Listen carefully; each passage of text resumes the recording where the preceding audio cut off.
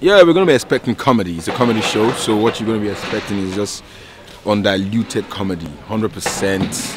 And I've got uh, I've got the right side kicks. I've got the right side kick to help me um, open the show. So definitely it's gonna be comedy all through.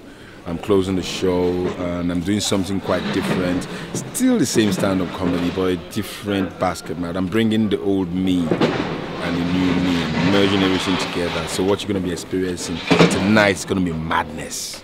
A bit of, you know, chilled guy. Big shout out to Bar for putting this together. Phoenix Media, Tunde, Babalola, uh, you're, you're amazing. Rockbo you're amazing. Thanks for helping me um, do this. You guys are the reason why I've come this far, and I love you guys 100%. You know, you guys see my dream, and you guys help me bring that dream to life.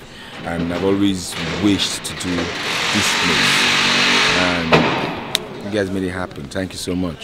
Thank you.